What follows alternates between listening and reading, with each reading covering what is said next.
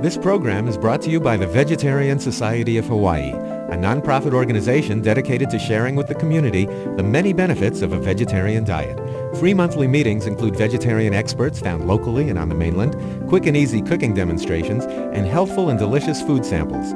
Members enjoy an informative quarterly newsletter, social activities, and discounts at many vegetarian-friendly restaurants and health food stores. For an application, call 944-8344. That's 944-8344 or visit our website at www.vsh.org. vsh.org.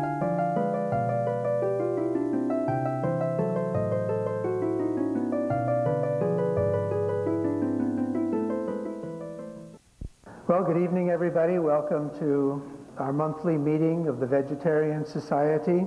I'm Bonnie Hilton's replacement. Bonnie Hilton was Alida Rutchick's replacement, our president, who's away just now, and she'll be resuming her duties next month. So I'm a replacement of a replacement of, I can go on. I can think of another reason. I can, th- I can go through another, another level of that. So this organization is education. The purpose of this education is to teach people the benefits of vegetarianism. We have no other purpose besides teaching people about vegetarianism. And so we really have no special need to get together and talk to each other. And it's for new people, first timers, people who'd like to learn more about vegetarianism, that we have this organization and have these meetings. I'm looking at our speaker for tonight. He's looking at me through a monocular. Our speaker tonight is Dr. Harris, Dr. William Harris, MD, He's medical director of the Kaiser Permanente Vegan Lifestyle Clinic, an, an, a venture that he began a little less than two years ago, I think, that operates out of the Kaiser Hospital on Pensacola Street. He's been a leader in the Vegetarian Society since its inception. He's been a vegetarian for 48 years and has been a vegan for 35 of those years, the last 35 of those years. He tapes most of these lectures for presentation on Olelo, and that shows on channel 52 on Thursdays. This is an incredible service that he does and is doing right now, all by himself, taping vegetarian lectures here or in his lifestyle clinic, editing them, and seeing that they get onto Olelo for presentation to whoever wants to watch them in Honolulu. It's a incredible and solitary and wonderful contribution that he makes to the health of this city and these islands.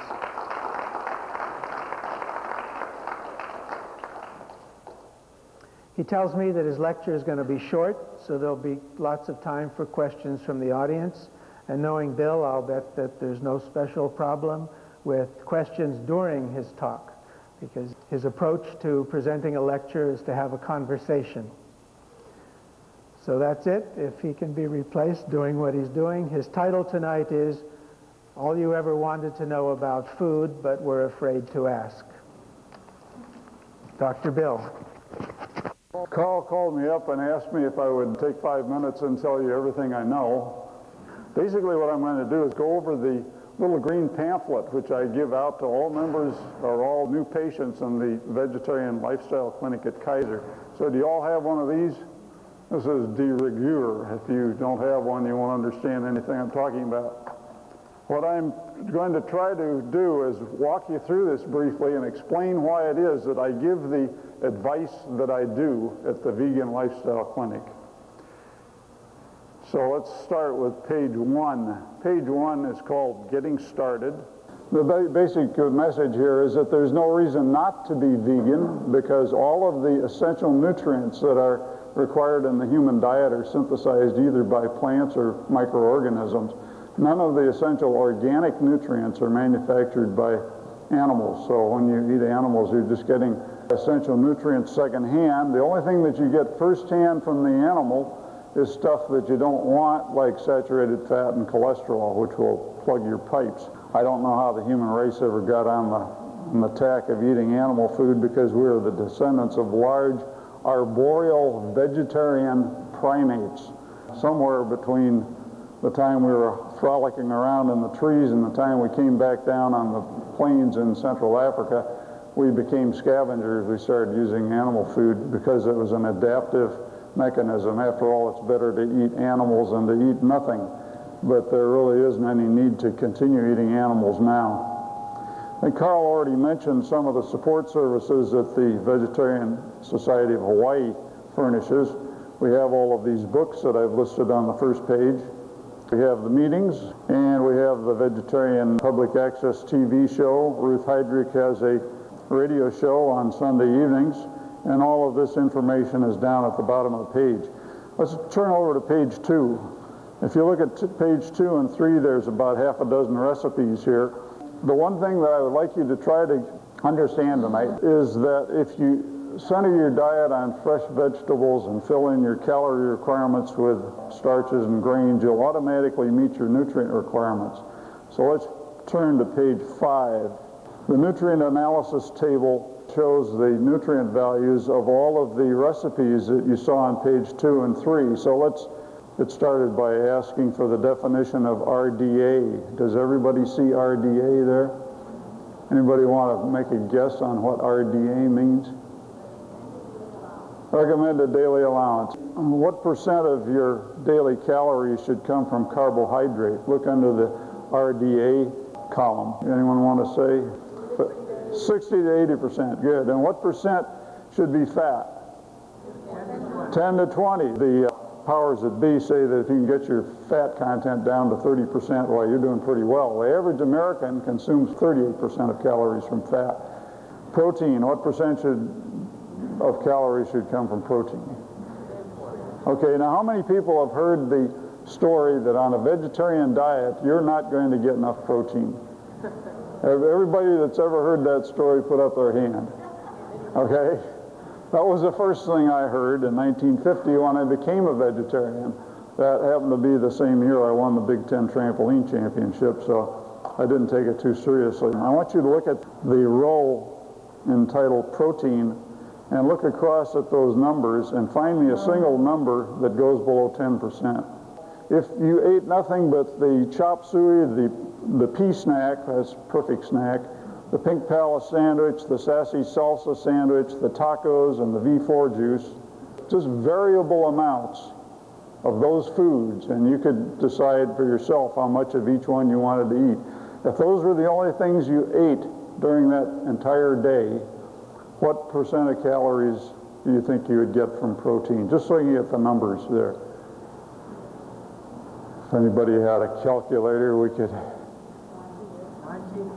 yeah, somewhere probably between 15 19%, and you only need 10%.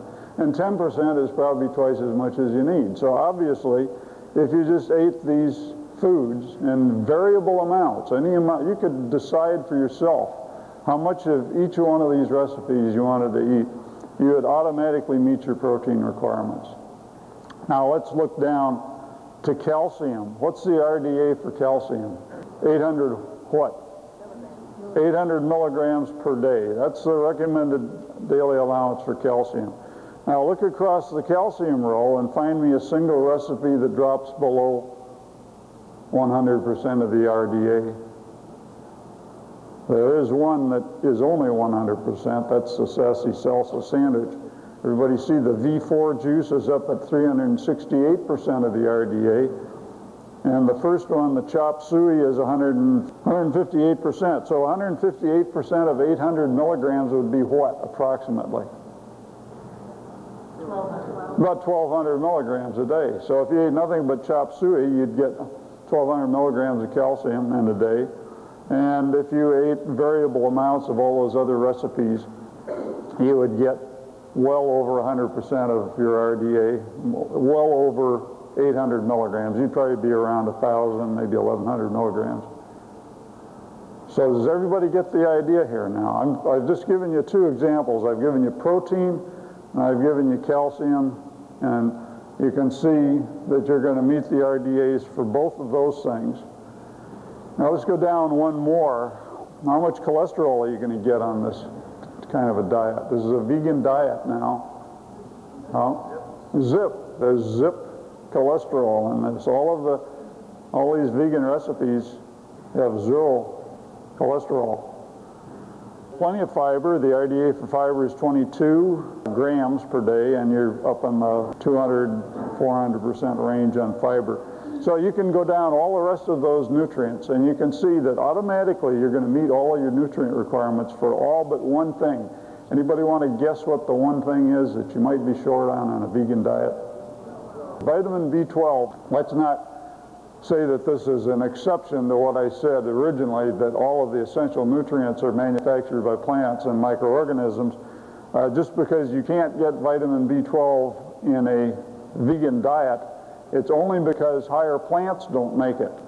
But the, the reason you get B12 when you eat animal food is because there are bacteria in the animal's gut which do manufacture B12, and the B12 is absorbed into the animal stored in the liver, stored in various other tissues, and when you eat that animal or you drink the animal's milk, you get that vitamin B12. But the animal did not make that vitamin B12. It's made by the bacteria. Bacteria are the only source of vitamin B12. Most of these recipes have got more than enough vitamin B12 because I played a trick. There's a substance called Red Star T6635 Plus Nutritional Yeast. This stuff has got vitamin B12 added to it, and so I put a little vitamin B12 in most of those recipes. The only one that didn't have B12 added was one that Dick Allgaier, the TV caster, made, and he didn't put any Red Star on that. Over on the right of this nutrient analysis table, carefully segregated from the rest of the recipes, is a typical fast food recipe. If you can look on the top page four, the typical fast food meal is one cheeseburger, one milkshake, and one order of french fries. What percent of calories come from fat on that one? Too much, yeah. That for sure. 29% of calories come from fat. It's got 14% of calories from protein, but we did better with chop suey had 19%. The perfect snack had 26%. So, you know, the fast food doesn't have all that much protein, and that's the stuff that it's supposed to have lots of. It's got enough calcium. It's got 230% of the RDA, 230% of 800 milligrams, which would be around 17 or 1800 milligrams, I guess. It has an absolute amount of cholesterol in the amount of 245 milligrams, and the upper limit RDA for cholesterol is 300 milligrams. And that, folks, is put there simply because Congress does not know how to deal with the meat industry. If they had any guts, they would come out and say the upper limit for cholesterol is zero. You do not need cholesterol in your diet. You do need cholesterol in your body. Cholesterol is a major building block in all the cell membranes in your body. It adds structural strength to the cell membranes, and it's also the precursor for all of the steroid hormones. So you have to have cholesterol, and that's why your own body manufactures 500 milligrams of cholesterol every day. Now, the average American eats another 500 milligrams of cholesterol, and that's a grand total of 1,000 milligrams of cholesterol per day. And it's not surprising that the extra cholesterol that you didn't need to eat in the first place winds up plugging your pipes. We have a, an epidemic of cardiovascular disease in this country that would vanish within a generation at the most if people would stop gnawing on bones. We do not need animal food in our diet. If we cut out the cholesterol in the animal food, we'd see a drastic reduction in cardiovascular disease. What else has that fast food recipe got to offer you? Well, it's got 30% of the RDA for fiber, so you're way under the requirements for fiber, and that, of course, is due to the fact that fiber is not made by any animal. It's only got 60, 68% of the RDA for folate, 96% for iron. How many people have heard that vegetarians are all going to be anemic, too, because they don't get enough iron? Put up your hands if, you, if you've ever heard the anemia shtick. That's another one. It turns out now that you don't really want to get too much iron because there's literature showing that too much iron may actually predispose to cardiovascular disease and to heart attack. So I would say that we're in kind of a transitional period. Scientifically, we, we hear some people still worrying about the possibility that vegetarians won't get enough iron. We've got, on the other hand, a gang of researchers saying, hey, look, that's a good thing. You don't want to have too much iron. And I suppose somewhere in the middle of the next century we'll finally figure out what the real scoop is on iron. But in the meantime, you should understand that none of the essential minerals in the human diet were synthesized either by animals or by plants. They are the result of nuclear fusion processes that took place inside stars that blew up at least five billion years ago. The animals didn't make them, and the plants didn't make them either, and you don't have to eat animals just to get your iron. Well, you can run down the list there, and you can see that if you eat stuff that is more or less in the form of these rather simple recipes here, you're automatically going to get your recommended dietary allowance for all the nutrients that you need. You're not going to get any cholesterol. You're not going to get very much saturated fat. You may have a little trouble get, getting used to eating this kind of food, but once you catch on to it, it's pretty simple. How many people have seen the food guide pyramid? I presume you've all seen that. And I've got it there on the top of that page, but I don't like the top of it, so I chopped it off. I amputated the food guide pyramid and we cut off the apex because there's nothing in the apex except refined sugar and oil. And I don't think much of dairy products. They haven't got anything that's magical about them in spite of the massive ad campaigns that have gone on, the milk mustaches and related tomfoolery. And of course, meat is out. So the top of the food guide pyramid goes away. Where we wind up down the bottom is a slightly revised trapezoid because I don't think that the grains and starches belong down on the base of that pyramid either. I don't think they should be the first thing you think of when you think of good nutrition. Should be the vegetables and the fruit. Right next to the food guide trapezoid in boldface, my recommendation, base your diet on fresh vegetables and fill in your calorie needs with fresh fruit, starches, and grains. And if you do that, you're virtually guaranteed to get all of the essential nutrients that you need. You won't be getting cholesterol and saturated fat, and you'll probably start to feel better if you're not feeling well now. On page seven, we have some useful ideas by Ruth Heidrich on ways to set up your kitchen and some spices and herbs. One of the big problems that comes up on a vegan diet Anybody can cook vegetables, but then the question is, what do you put on them afterwards? Because it gets really tiresome eating nothing but kale day after day. So we came up with a couple of recipes there. There's a healthy gravy. And there's some low-fat vinaigrette dressing, herb seasonings. I do not write in the in the mode of Eric Wustebader, who gets paid by the word. I, I try to keep the words to a minimum and try to keep the paper output from Kaiser to a minimum too. And so I have not wasted words here. Everything that's written should have some useful information for you. Well, what's the other really important thing about being healthy? We've, we've touched on diet. What's the other thing that counts at least as much as diet, if not more? Exercise. You all get an A on that. There just is no way of being healthy if you don't exercise. And believe me, there are a zillion different excuses for not exercising, and I've heard a half a zillion of them in 35 years of medical practice. People are very adept at making excuses for exercise. I happen to be one of them myself. I hate exercise, but the alternative is worse. So I make sure that I get exercise every day. And probably the best way to, to start the day is to do some kind of exercise it counts as exercise if it makes you sweat, makes you breathe hard, raises your pulse rate. End of story. You can get uh, caught up in all sorts of uh, esoteric types of exercise. You can become Olympic caliber if you want, but the really important thing is that you do it every day.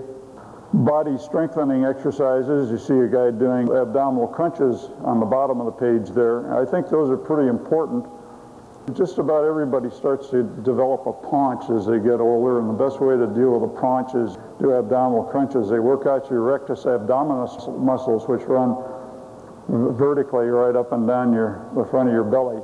And on the page 10, there's a picture of a guy doing this with his arms, and this is what Charlie Atlas, Charles Atlas, the guy that put a permanent end to kicking sand in people's face. This guy is still in business, believe it or not. I've heard about Charles Atlas in 1935, the first time reading Popular Mechanics. I don't know if Charles is still around, but somebody is hyping his product, and it basically just is a matter of pushing one part of your body against another. For instance, when I, when I do this, I'm working the triceps on this arm against the biceps on this arm. And I will tell you right off that you're not going to start looking like Arnie Schwarzenegger or Charles Atlas by doing this. But if you're so lazy that you can't bring yourself to use a set of weights or go to a gym, you can always do this. And I included these Charles Atlas exercises mostly because they're the perfect answer to anybody who tells me that they don't have the equipment to do weightlifting, they don't have something else that they have to have. All you need are your own muscles. Work your muscles against each other. I suppose that this would be a good place to interject an element that I have not included in this little green pamphlet. This is the subject of ethics. I became a vegetarian for ethical reasons in 1950, not for health reasons. It wasn't until I'd been a vegetarian for about 30 years that I realized that, Uh, uh, counter to what I had thought, that I was making a huge sacrifice. I had actually done myself a really big favor. So I will probably start uh, putting about three or four sentences about ethics in this little green flyer because health vegetarians cheat like crazy. Health vegetarians find every conceivable reason not to be vegetarian all the time. They'll have a hamburger once a week and they'll say, well, that was just a little bit of a fall off the wagon. Won't make any difference. I won't get that much cholesterol. And I eat a little bit of chicken and fish every now and then, and of course that doesn't count either. And pretty soon, you've lost the whole benefit of vegetarian diet. In order to make it work, you've got to stick with it. It makes it very difficult for me as a physician to see patients who are not following the, the vegetarian diet strictly because I really don't know where I'm at. I don't know whether I'm accomplishing anything with their weight or with their cholesterol levels or whatever it is they're trying to accomplish because I'm not sure just how close they're sticking to the diet if you're already toying with the idea of being a vegetarian for health reasons, you might as well go the whole, whole hog. If you have any question about it, go on down to the, where is it, the slaughterhouse out in Ewa Beach? There's, if you can get in. But if you ever get a chance to go through a slaughterhouse when they're slaughtering animals, just take a look and decide whether you really think that's okay. What, what you're watching is okay. I want to discuss the third concern of the Vegetarian Society of Hawaii, which is animal rights. I grew up in the middle of the Second World War, which took 36 million human lives, mostly non combatants, women, and children. Although I was too young to be in the war, its brutality and violence affected me profoundly at the same time that it generated a lifelong fascination with flying year after I became a vegetarian in 1950, I started flying gliders and anything else that could get in the air. It was about then also that I came to the conclusion that the killing and eating of animals desensitizes people to what otherwise would be a strong and natural revulsion to the killing of humans. Rights arguments fall short for me because this is probably the only thing that Karl Marx ever said that I agree with. I think rights come out of a barrel of a gun. We we give ourselves rights because it's a way that we have of keeping the barbarians on the other side of the gates. But there aren't any rights in nature. Nature will allow anything to happen. So this is my argument. Mine is the argument that was made by Peter Singer when he spoke to us last month. He's a utilitarian, and so am I. In the very first chapter of Genesis, we have this quote Then God said, I give you every seed bearing plant on the face of the whole earth and every tree that has seed in it. They will be yours for food. I give every green plant for food. And it was so. Now, this biblical quote says nothing about dairy, eggs, fish, meat, or poultry. But from the scientific standpoint, the dietary advice comes out the same. Our remote primate ancestors evolved over 56 million years, living in trees where the food supply was mostly fruit, leaves, and nuts, and most of our physiology developed on those foods. But about 3 million years ago, our hominid ancestors descended to the ground and began adding meat to the diet as a survival strategy. Still, all of the essential amino acids, fatty acids, and vitamins in the human diet are synthesized only by plants, not by animals. Of course, Michelangelo shows here that part of the Eden story that says that a serpent conned Adam and Eve into eating the forbidden fruit, which I suspect was unique only in that it had fur on it.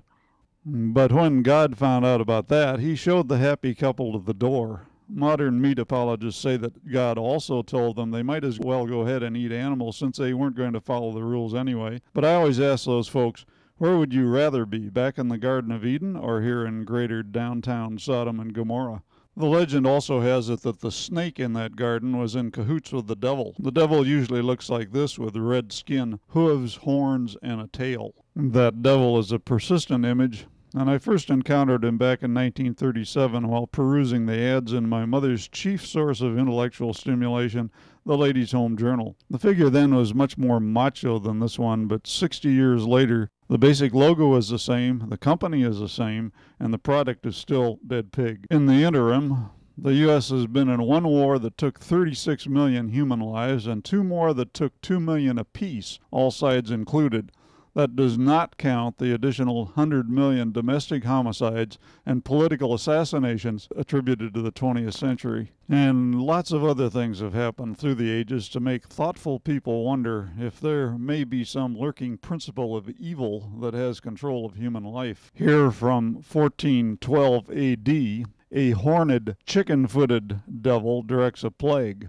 In the year 1415 AD, the Limburg brothers painted this monstrous devil who inhales human flesh. Somewhat apropos, George Bernard Shaw once observed that meat eating is just cannibalism with the heroic dish omitted.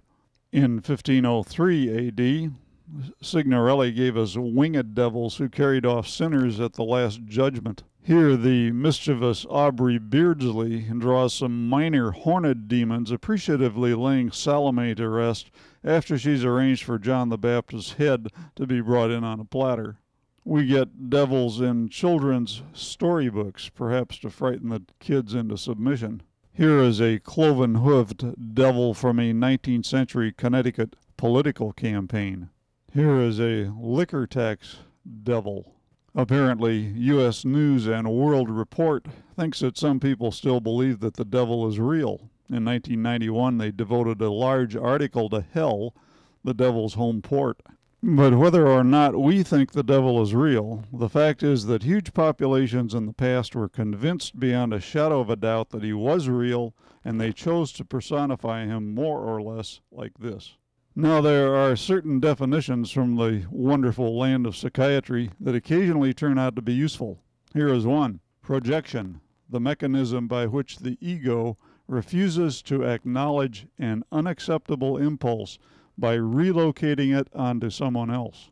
Maybe all those medieval theologians with the little red hats and the foofles hanging down the side realized unconsciously that evil comes into the world through the killing of animals. But instead of coming right out and telling their parishioners that they should go back to eating the herbs of the field and the fruits of the trees, as their own Bible stated right up front, they invented a devil and projected human evil onto him. As customarily depicted, he's just a man who has killed an animal, smeared himself with its blood, and has put on its hooves, horns, and tail. There's another psychiatric theory that may also apply. It's called cognitive dissonance. If, for instance, you're a smoker, you have cognition one, I smoke. Cognition two, smoking causes cancer. At this point, you have two ways to resolve the dissonance. First, you can stop smoking, and second, you can deny that smoking is a risk. Here's another example. Cognition 1, I am a peaceful, innocent child of God. Cognition 2, I kill and eat other animals. This cognitive dissonance is dealt with by creating an evil anti God, the devil, and projecting cognition too onto him. But the primitive mind so often leaves a telltale track by which we can trace its rationalizations. In this case, the devil is a slaughtered cow. an unconscious admission that evil comes into the world by the killing of other conscious creatures. For in the killing of animals, we introduce a rip in the ethical fabric and we remove the cornerstone for a coherent ethical structure and we tear away that strip of ethical insulation which could make it impossible for us to kill our fellow humans. Now, there is a semantic problem that relates to the words alive and dead. An uprooted cabbage, a beefsteak, and a decapitated infantryman are still all alive, at least until they spoil or get cooked, because up until then you can grow their cells in tissue culture. But we usually agree that the steer the steak came from is dead, and so is the infantryman, because there's a difference in the way we apply those words, and that has to do with the presence or absence of a nervous system. The steer and the soldier both have one, the cabbage has none. Here, for instance, is a schematic drawing of a sheep's brain. It's not much different than what you would find in a steer. And here is the brain of a human. It doesn't look all that much different from that of a steer or a sheep. We know that the human brain supports consciousness. So we have good reason to believe other animals are conscious too. And consciousness, whatever that finally turns out to be, evolved as a mechanism to coordinate the activities of the brain to help the central nervous system provide the best possible chance for individual survival. This steer, which has been brought into the killing pen of a slaughterhouse, gives every appearance of knowing that this moment is its last, and it behaves very much the way a human would in the same situation. The steer can't do differential equations or build linear accelerators at Stanford, nor embroider tapestries in Florence, but it is conscious and it fears death and suffers pain just as we do. Vegetarians are sometimes criticized for paying more attention to the welfare of animals than the welfare of humans, but it's precisely because we're concerned with human welfare that we argue against killing animals. Vegetarians think that animal source food has a catastrophic effect not only on human health and the world environment, but also on the ethical fabric of society. Humans, convinced that they have to kill in order to live, become inured to the sight of blood and the thought of killing. Here's one simple example a 15 year old kid hauled into court for the rape and murder of a 12 year old girl. Where did he get the idea? Louis already was inclined to violence when he witnessed a killing firsthand, just a few weeks before he would become a killer. An uncle took the youngster to a pig slaughter, a common procedure here in Vermont farm country. Louis was suspended from school soon after the pig slaughter and began hanging out at the Burlington City dumps. Inspector Robbie Yandell had made his way into the dense woods to find an old foam mattress, and beneath it, the missing classmate, Melissa Walbridge. Her hands were bound behind her back, near the small of her back, and a clenched. Her hands were in a clenched position. Melissa's body was identified, and word quickly spread through the little town. The Walbridges were informed their daughter would not be coming home, that boy might have killed the girl anyway, but the folks around him saw nothing wrong with killing the pig, so how was he to construct the buffer zone to homicide that a consensus against killing animals might have provided? After all, it's macho to kill animals. Why isn't it just as macho to kill little girls? The ethical buffer zone that should make humans think twice about killing other humans just isn't there, so the foundation stone for a consistent ethical structure is missing. Society as a whole abhorred the killing of animals, we might think twice before killing each other. But killing animals is just a dress rehearsal for killing humans.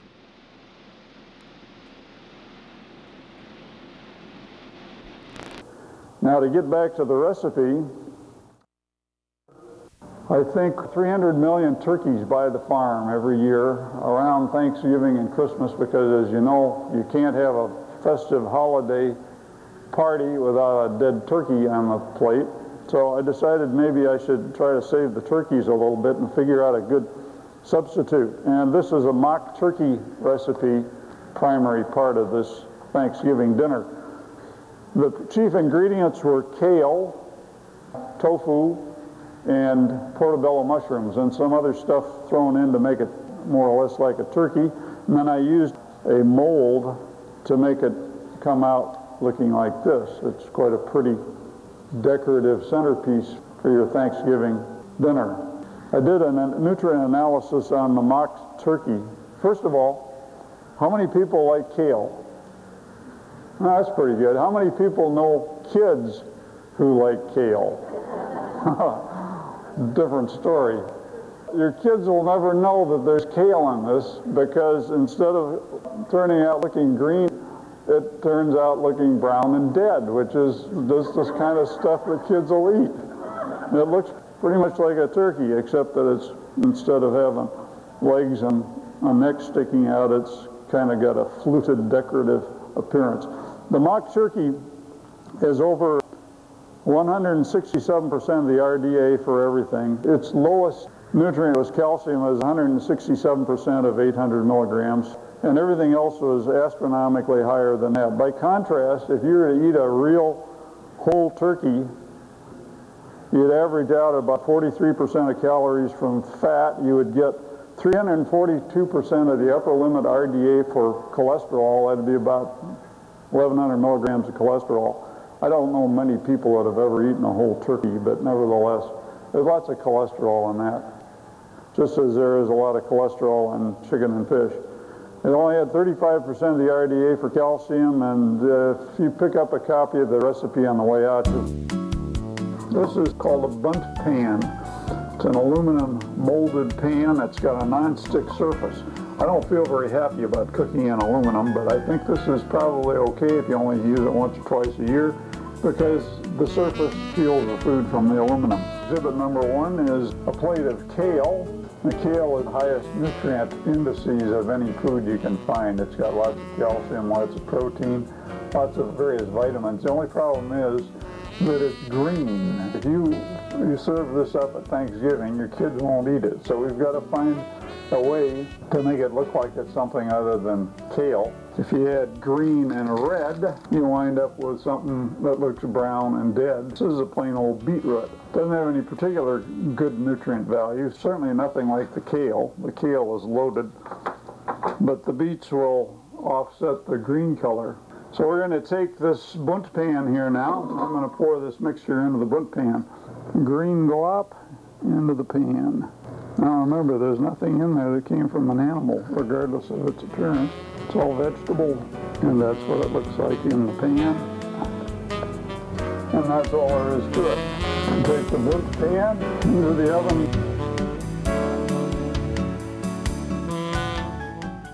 The ingredients are Love's stuffing mix or any prepared stuffing mix which comes with spices, some celery, Maui onions, water chestnuts for some crunch, mushrooms, and a variety of spices, thyme, sage, and poultry seasoning, and salt and pepper.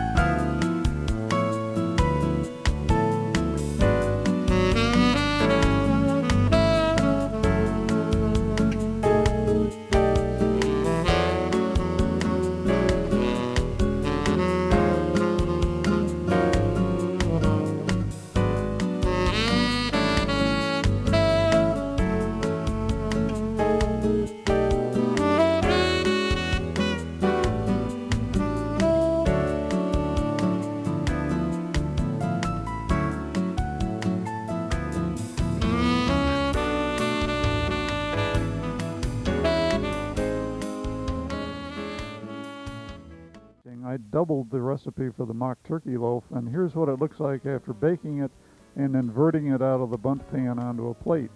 As I said before, it's a complete and nutritious food.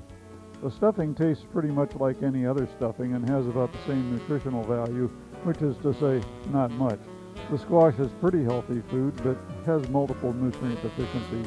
Mushroom gravy tastes great, but it's short on protein, vitamins B1, B2, B12, E, and zinc. You know that pumpkin pie is going to be lacking Boku nutrients, and so is the topping because of the high sugar content in the form of maple syrup. So the star of the show is really the mock turkey loaf that had everything because of a careful selection of leafy greens, tofu, mushrooms, and red star yeast.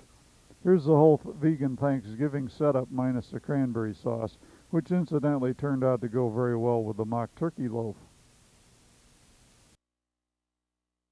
That is my little contribution to the turkeys of the world. I think it's time for questions. Question back there? As you age, you tend to dry out. And how do you get around the fact that in this, these recipes there's no oil? That's a good question. I'm glad you asked it. There is no RDA for oil in the diet. There has never been, there never will be. There is an RDA for two essential fatty acids. The two essential fatty acids are linoleic acid, which is the first of the omega-6 fatty acids, and alpha-linolenic acid, which is the first of the omega-3 fatty acids. You can make all of the other fats that you need from those two essential fatty acids. As far as drying out, my recommendation, particularly in Hawaii, is that everybody drink about eight glasses of water every day. I used to think that that was sort of schlockery, but I think it does make a difference. We've got a hot climate. You do tend to dry out because it's warm here. And it's not a bad idea to start off in the morning drinking four glasses of water, and then maybe an hour later you have a couple more. Before you know it, the last two glasses of water have gone down the gullet, and you've hardly even noticed it. By doing that, you've more or less protected yourself against kidney stones. This is the kidney stone capital of the world, I'll tell you that. As an emergency room physician, I've seen more kidney stones here than any place else I've ever practiced.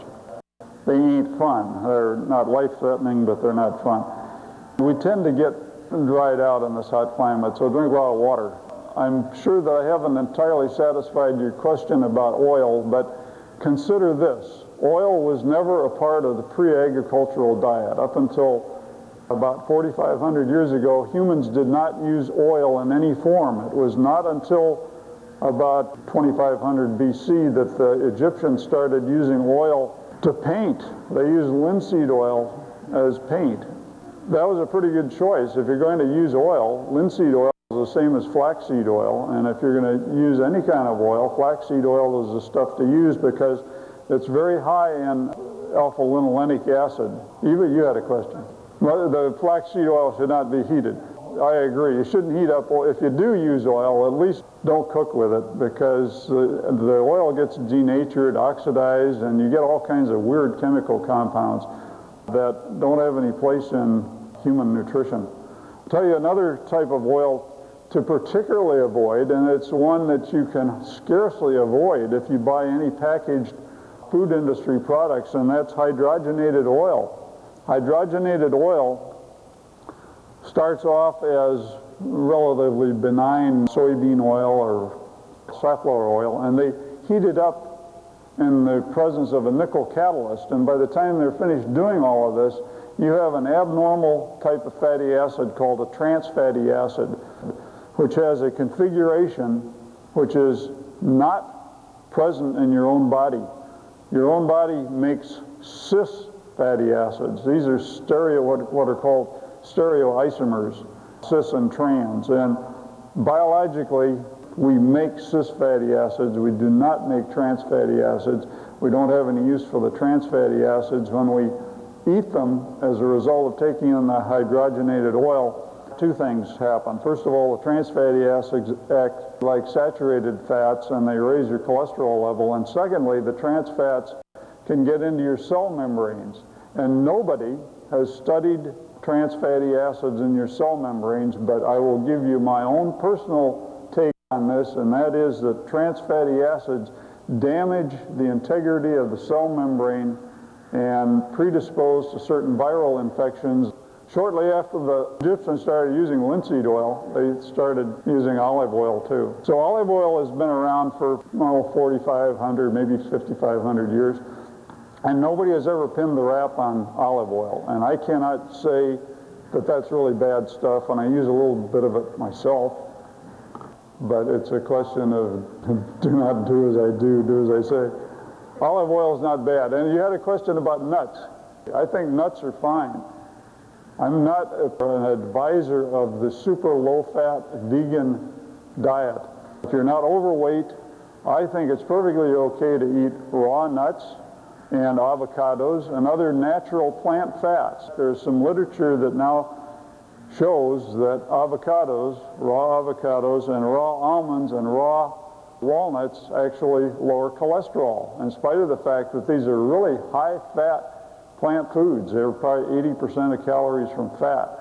So a little bit paradoxical. Probably half the patients that I get are overweight. Some of them are seriously overweight. They're up in the three to 400 pound range, and they need to get weight down in a big hurry. And I explained to them that if they follow this, this vegan diet, they're going to be able to eat as much as they want. They don't have to limit the amount of food they eat. As long as they're eating relatively low-fat plant foods, they're always going to meet their nutrient requirements. They'll meet the RDAs for all the nutrients, and they will fill their stomachs because plant foods are very bulky, as you know, and they'll, they'll be short on calories. So they've filled their stomach, they've met all of their nutrient RDAs, and they're short on calories, so they have to mobilize their fat stores, and that's why on a whole food vegan diet you can lose about a pound a week. Now there are fancy diets like the Atkins diet where you can drop four or five pounds a week, but the uh, diet is not sustainable. It's probably going to have injurious effects to your other, other organs. There's a very good chance that when you come off that diet, you'll blimp right back up. Your body interprets crash diets as a famine, and it resets your appestat so that when you come off the, the crash diet and you've lost 50 pounds, your body thinks, well, you've just gone through a famine, so let's, let's make sure that you got enough fat around the next time we have a famine so there won't be any danger of your dying, so you wind up 10 pounds heavier than you were. On a vegan diet, you'll drop a pound a week, and that's 52 pounds a year. It's 104 pounds in two years. That should be satisfactory for anyone. If the patient uh, gets the fat fits after about three weeks on this really low-fat vegan diet, eating nothing but grass and hay and dandelions and, and weed clippings, and they're losing weight successfully, I'll tell them, well, look, experiment with the raw nuts. They're not going to hurt you. Experiment with the avocados. They'll give you that fat sense that you want. They will probably help lower your blood lipids, which is almost always one of the objectives that I'm after when I'm dealing with an overweight patient. As long as you can continue to lose weight and be comfortable eating the food that you're eating, that's fine. I don't want my patients to feel that they're being deprived, that, that they have made some huge sacrifice in their lives and that life is going to be miserable. And I want them to, to enjoy the food they're eating. And as long as they can lose weight successfully, I don't care if they eat natural plant fats. I do advise them not to use the oils, though, because oils are 100% fat. Let's have another question. You cannot believe the words vitamin B12 unless somewhere on the label it also says cobalamin. Vitamin B12 is a really complicated molecule. We could spend the rest of the evening talking about this molecule. It's bigger than any other vitamin. It's more complicated than any other vitamin. And there are B12 analogs which look like vitamin B12 but which do not behave like B12 and in fact may be antagonistic to the real vitamin B12. There is a part of the B12 molecule called cobalamin, and if that part is not there, you're not dealing with real vitamin B12. I don't want to play Russian roulette, and I'm going to stick with things that I know to have the real cobalamin. There's the only two things I know of. Number one, a vitamin B12 supplement, and you only need about 25 micrograms a week your daily RDA for B12 is only one to two micrograms. That's a thousandth of a milligram and a millionth of a gram. So it's a really tiny amount. The pill is one way to get your B12, and the other way to get it is the Red Star T6635 plus nutritional yeast, and I don't own stock in the company, but I've contacted them. Yeast doesn't manufacture B12 either but they add cobalamin that has been made for them by the Rhone-Poulenc pharmaceutical company in France. So it's legitimate B12, and it's, there's an adequate amount of it. And incidentally, yeast tastes pretty good. Where's that available? Where can you get the Red Star yeast? Well, Down to Earth has got it. I think probably most of the health food stores in town have got it they're remarkably bashful about admitting that they've got it. You have to almost take a detective along to find it. Stashed away in the uh, the bulk food section with a very diminutive label that says Red Star T6635. They ought to put it in a bag, label, hey, this is the real thing, this is B12, and then everybody would know, but they don't seem to get the message. Health breakfasts have cobalamin added. Now, you sure it's cobalamin, it's not vitamin B12? They actually say cobalamin. Okay, that's probably legit. Question? Festivals that we call Thanksgiving and Christmas are deadly occasions for your health. You're going to go to the, your friends' places, they're going to be eating grease, deep fried, and hot fat, and you're going to wind up eating it because it's rude not to do so, right? And you got to give what the hostess has to prepare. So I think that probably the fact that we have this health disaster that goes on every winter may have something to do with the fact that we are consuming this really super rich food at Thanksgiving. We're doing it again at Christmas. We're doing it again at New Year's. And our health does not really seem to be getting back to normal until slightly after the Easter ham disappears in the spring. Another question? Question. Uh, there, is there research documenting significant difference between organic and non-organic foods? Yeah, I think there probably is, but I don't know where to get it. The organic advocates say that there is just no comparison. The non-organic people will often say, well, hey, look, our stuff is, has got richer nutrient value than the organic. In principle, we should try to support the organic growers as much as possible because the alternative is to become more heavily dependent on a chemical industry which is already running amuck in Congress.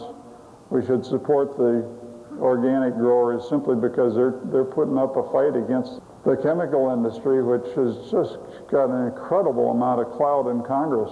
We ought to fight them for no other reason than the fact that they've got too much power. There was another question back there.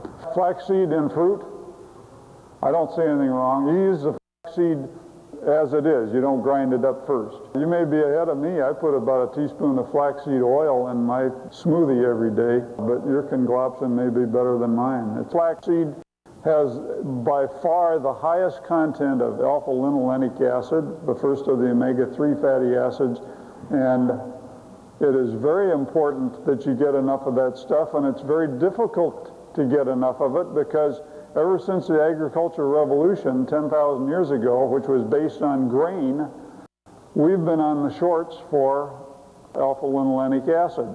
And the reason is that grains are high in linoleic acid, but they've got pitiful small amounts of alpha-linolenic acid. And you need the alpha-linolenic acid, well, among other things, to create DHA, which is an elongated omega-3 fatty acid, which is a major player in the central nervous system. The brain has a lot of DHA in it, and because of our dependence on grains, we're not getting enough alpha-linolenic acids, and I think probably that's affecting our the leadership of our government. we need to ship them all several gallons of flaxseed oil. The question is, can I paraphrase it? Should you combine foods? Should you go in for combining foods? Okay, the natural hygienists are the, the, the people who insist that all food should be combined and thus in such a way you should never eat fruits with protein, you should never do this, you never, it turns, you know, it's hard enough being a vegan without going, going to the, the extreme of combining foods. Now, I would personally find it very offensive to drink orange juice and eat a potato at the same time. I think there's some disastrous combinations for me personally, but I'm not going to tell you that you can't do it. You may find that well, you may have all kinds of weird combinations that work out perfectly well. What we're getting into now and talking about food combining is what we refer to as fine tuning. Now, I'm not interested in fine tuning you. I'm interested in getting you off the food that is almost certainly going to have disastrously bad side effects, and that's animal food. Fish and fish oil, you're talking about EPA and DHA. EPA is an elongated omega-3 fatty acid. The reason fish have a lot of it is because the bottom line in the marine food chain is algae.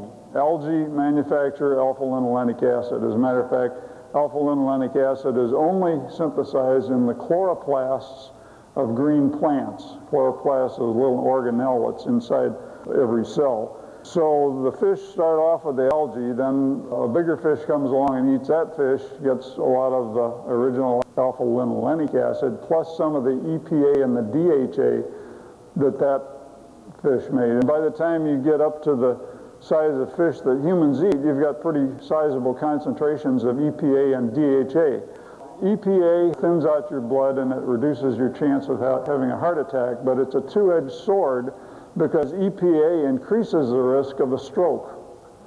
So when you use, use fish oil, and I have a chapter in my book here called Fish Oil Flim Flam, when you eat fish oil, you reduce your chance of a heart attack, but you increase your risk of stroke. And you don't need to use the fish oil because you can make both EPA and DHA yourself if you're getting enough of the alpha-linolenic acid, one of the two essential fatty acids that I mentioned. Well, I am reminded of the professor who dreamt that he was giving a lecture, and when he woke up, he found that he was. And so I think I'll, I'll cut it right here. If anybody has questions afterwards, why, uh, go to it. Carl, you want to wind this up?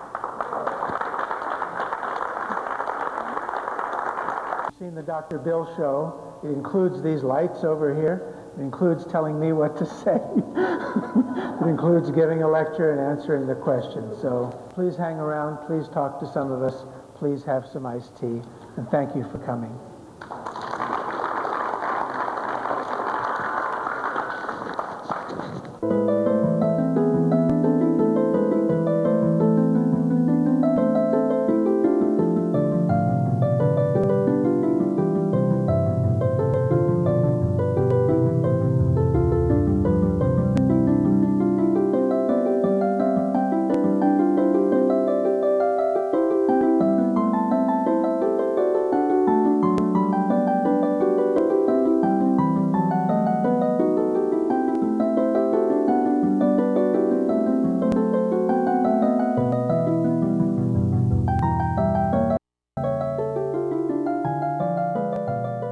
This program is brought to you by the Vegetarian Society of Hawaii, a nonprofit organization dedicated to sharing with the community the many benefits of a vegetarian diet. Free monthly meetings include vegetarian experts found locally and on the mainland, quick and easy cooking demonstrations, and healthful and delicious food samples. Members enjoy an informative quarterly newsletter, social activities, and discounts at many vegetarian-friendly restaurants and health food stores. For an application, call 944-8344. That's 944-8344 or visit our website at www.vsh.org. vsh.org.